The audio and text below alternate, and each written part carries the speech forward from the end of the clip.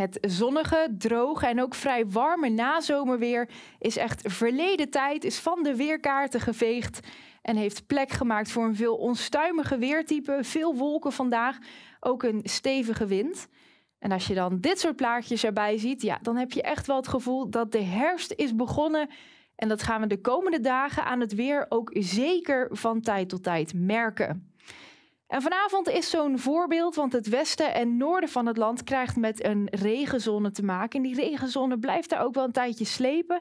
In het midden van het land af en toe wat motregen, in het zuidoosten overwegend droog. Morgen overdag blijft die noordwestelijke helft gevoelig voor een enkele bui. En dan zien we op donderdagochtend alweer de volgende regenzone dichterbij komen. Dan kan het echt wel een paar uur stevig gaan doorplensen, afhankelijk van hoe lang die regen boven Nederland blijft liggen.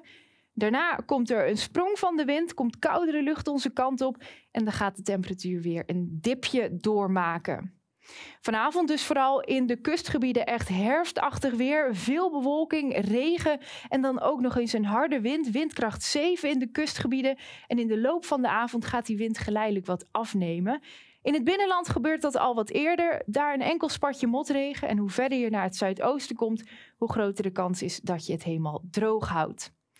In de loop van de nacht trekt die regenzone dan verder weg naar het noorden, wordt het op steeds meer plekken droog.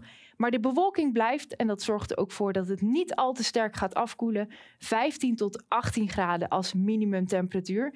En aan zee gaat de wind dan geleidelijk wat liggen. En ook in het binnenland hebben we echt minder wind. Maar morgen overdag gaat de wind vervolgens weer aantrekken. Komt er aan zee een krachtige wind te staan, boven land een matige wind. Zul je echt wel goed voelen. Je zult ook zien dat de bomen behoorlijk aan het bewegen zijn. Maar wat temperatuur betreft, die zuidwestenwind voert wel vrij warme lucht mee. Dus het is 20 tot 22 graden. Wel met veel bewolking, maar tussendoor ook wel een zonnetje. En het goede nieuws is dat het een groot deel van de dag droog blijft. Alleen in de kustgebieden mogelijk nog een enkele bui. De dagen daarna, donderdagochtend, krijgen we dan met die regenzone te maken. Blijft een tijdje slepen. Dat kan ook echt zo'n herfstachtige dag worden. Wel met 20 graden, maar in de loop van de dag gaat die temperatuur omlaag. De dagen daarna maken we dan een beetje een temperatuurdipje mee. Maar daarna zien we toch die 20 graden wel weer terugkeren. Komen er ook hoge drukgebieden wat dichterbij. Dus met een beetje geluk aan het einde van de week toch nog een klein beetje nazomeren.